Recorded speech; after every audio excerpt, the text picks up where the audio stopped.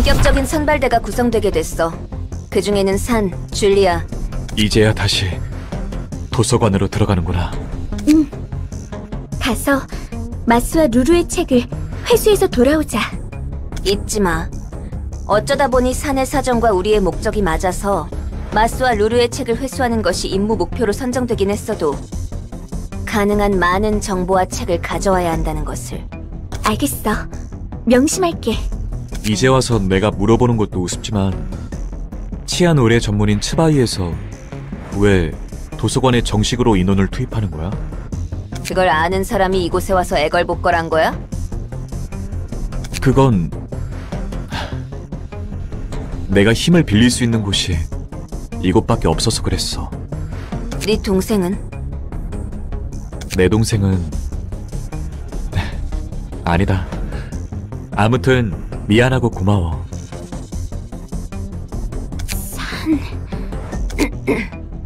뭐 너도 어쨌든 츠바이 협력 사무소니까 들어도 되겠지.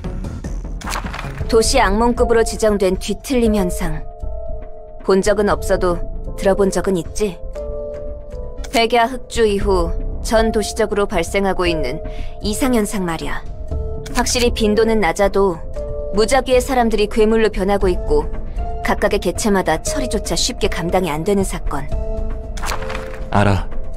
처음 발생한 뒤틀림 현상인 피아니스트로 인해 구구골목 거주민의 8알이 사망했지. 너무 갑작스럽게 발생한 일이라 하나 협회에서 뒤늦게 특색 중 한 명을 바로 투입했다고 들었어. 맞아. 아직까지 뒤틀림이 발생하는 원인에 대한 마땅한 단서도 없어. 단서라 해봤자 엘사였던 로보토미사의 증발과 그곳의 둥지를 기점으로 발생한 백야 흑주 정도니까.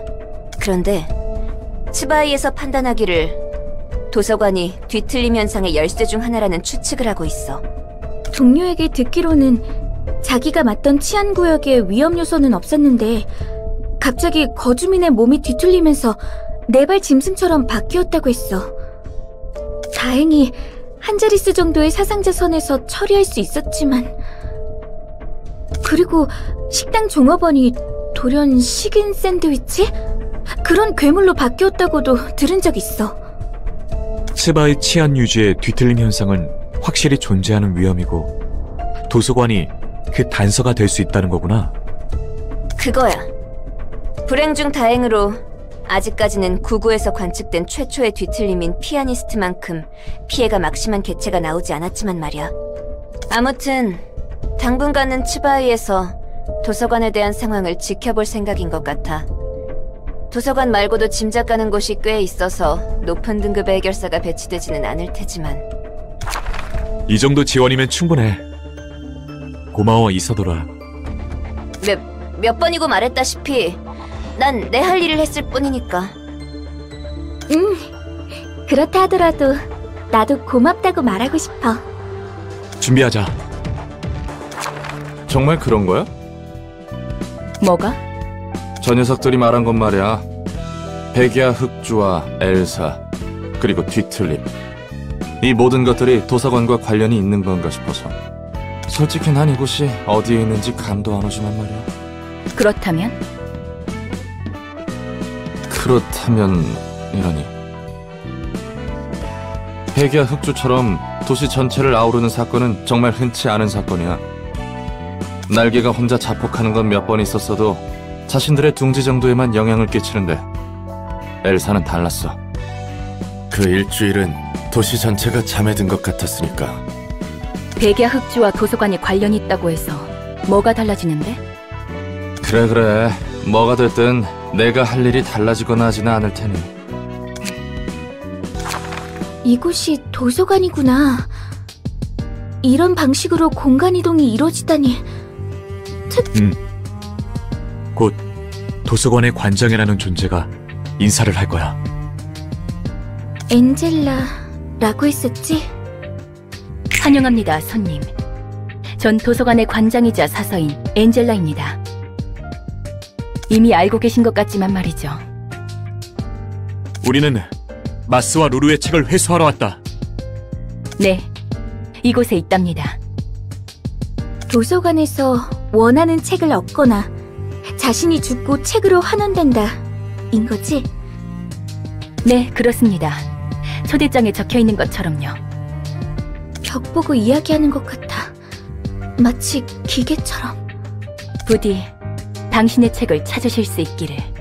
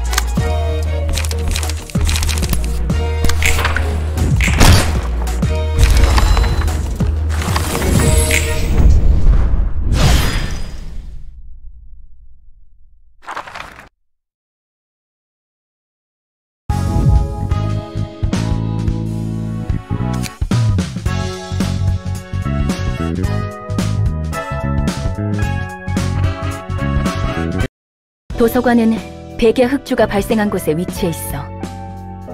그리고 그 중심지였던 엘사의 본사를 내가 손봐서 사용하고 있지. 그 이후 발생했다는 뒤틀림이라는 것에 대해서는 딱히 할 말은 없어. 뒤틀림에 대한 확실한 정보는 나도 없으니까 짐작은 가지만. 뭐야, 갑자기. 아까 전에 궁금하다며? 난 로보토미사에서 업무를 보조하던 비서기계였어. 인간과 닮게 만들기 위해 감정을 느끼고 그 감정을 통해 가치 판단을 할 수 있게 설계한 거야. 네 말처럼 윤리 개정안을 어긴 채 비밀리에 태어난 기계였지.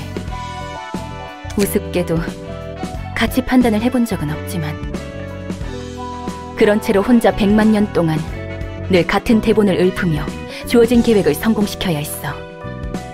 어느덧 끝날 것 같지 않던 무대는 막을 내리게 되었고 그 계획이란 것이 성공한 결과가 백야 흑주였다는 거군. 아, 어떤 미친놈인지 몰라도 그 정신 나간 계획 덕분에 도시에서 뒤틀림이라는 지속적이고 불규칙한 개판이 벌어졌어. 뜬금없이 멀쩡한 인간이 괴물이 된 거야. 괴물은 눈에 보이는 대로 싹 다 죽게 됐지. 그리고 말도 마.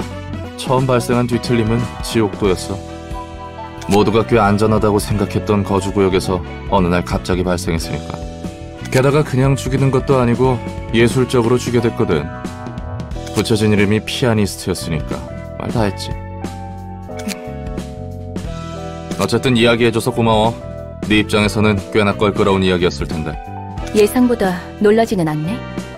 뒤틀림을 통해서 나온 괴물은 도서관과 사서가 풍기는 공기와 굉장히 유사해 보이긴 했으니까. 너도 너대로 마음고생 많았겠어. 그나저나 다음이 문제야. 치바이를 어떻게 움직이게 하려나? 이 책을 쓰도록 해. 내 나름대로 엘사와 뒤틀림 간의 관계를 정리해봤어. 상황을 보니 가치가 높아 보이네.